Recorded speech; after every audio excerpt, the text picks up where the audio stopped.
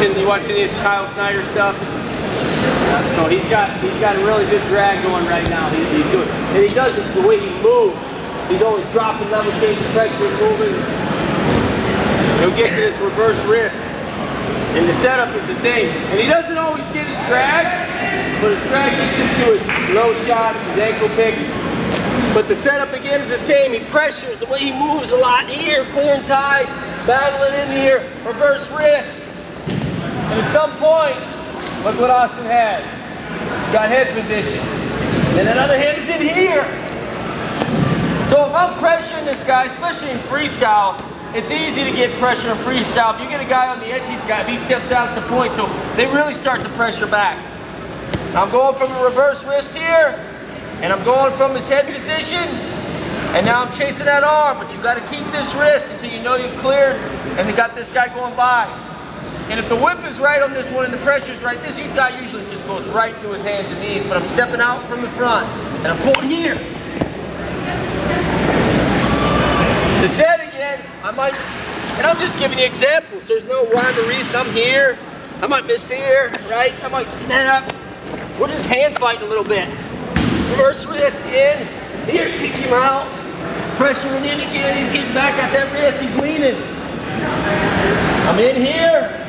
I got my reverse wrist tight and long. And now I step, armpit. Step, armpit, transfer my body weight out of the way again, help him go on by. If you do watch Kyle, I'm not gonna attack. You'll see this happen a lot where this guy really goes zipping by. Like he'll cover mat, he'll cover distance. He'll get that guy leaning and pressure from his level changes in here. And then when he pulls here, this happens. And then you'll see him hit this kind of stuff. He'll start attacking those ankle picks or low singles. So, you didn't necessarily score off the arm drag, but the arm drag became that setup to that next shot because you're creating action. We were dragging here, head position, wrist, out and around, underhook, head position, wrist, out and around, here, inside, guys pressuring, boom, around, now reverse wrist, head position, he's leaning. Now I'm getting out and around. For me on this one, I don't, I like to make sure I got that arm before I start moving my feet. So I go here, right here, get. Really start whipping it down so I can put his hands on the mat. My setup might have been just wrestling here a little bit. Just wrestling here a little bit with Austin, right?